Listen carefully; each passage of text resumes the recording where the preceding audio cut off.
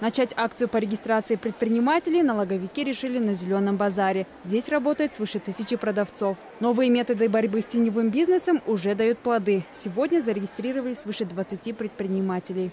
Нам это очень нравится. Почему? Потому что каждый законопослушный гражданин должен платить налоги. Но многие из работников Зеленого базара, они невежественны в этом плане. Они не знают, куда платить, как оформлять патенты, э, как вот открывать вот этот электронный ключ.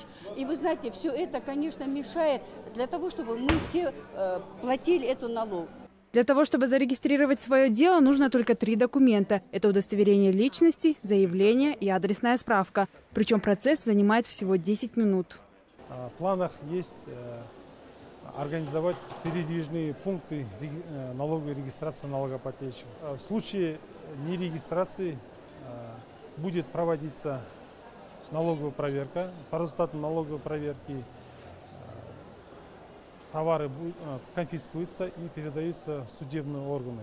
Всего в Алматы работает почти 147 тысяч бизнесменов. Большинство из них в Ауэзовском районе. Теперь налоговики хотят провести такую акцию во всех рынках города. Ардак Камал, Асет Кундакпаев, телеканал Алматы.